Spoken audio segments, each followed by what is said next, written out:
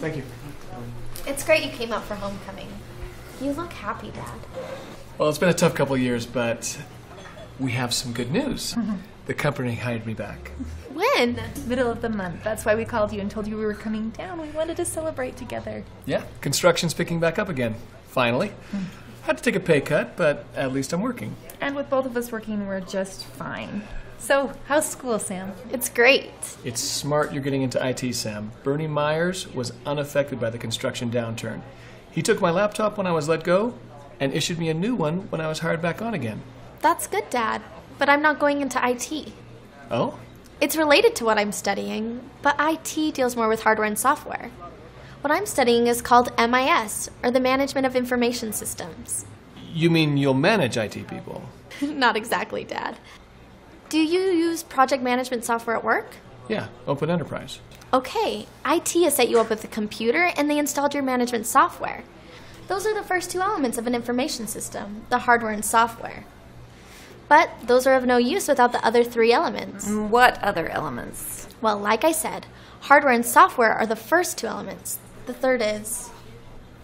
Yes, okay. Here's a model of our information system. Your IT is delivering your hardware and software. Now, imagine that our glasses are fully loaded computers. Even with the software installed, it's not useful. What's missing? Beer? No beer. We have a long drive home after that game. Uh, what's missing is soda. Diet soda. Yes, soda is the data.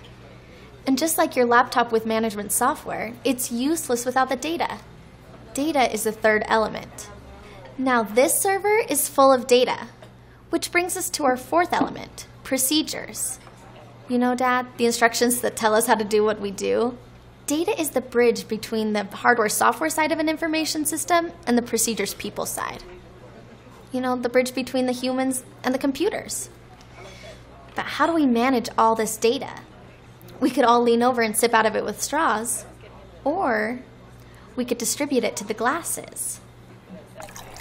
Where we, the people using the information system, can decide to drink it directly from the glass, use a straw, or just not use it at all. People are the final element in an information system. I'm learning how to plan and manage the data, procedures, and people. So it's it's like my job. I enter the cost and schedule data into the project management software, and then I make sure that the people involved in the project get their jobs done on time. Seems simple enough. Ah, shush, I'm sure it's a lot more difficult than that.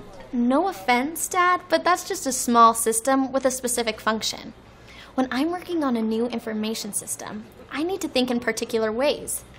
Systems thinking helps me model inputs and outputs of the information system itself and understand how it relates to other systems. And abstract thinking helps me diagram a business process and understand the purpose of the system I'm designing. I do not understand. Okay, before we can even figure out the hardware and software we need, we need to figure out the purpose of the information system and the data we need to collect. For instance, marketing needs different data than operations, and even when the data is shared, one department may need to use it differently than the other. Form follows function. Exactly. I am just so happy that you're excited about what you're learning. Know what excites me most? It's what I can do with an information system. I can model an inventory management system for a chain of specialty boutiques that buys fashion from around the world and sells it in malls across America. You know, everything in business is connected. But unlike learning a trade, the thinking skills I'm developing will always be valued and can be applied to any type of business. Now that sounds like job security. Well, our hardware's empty, so would you like to manage the data? nah, just dig in.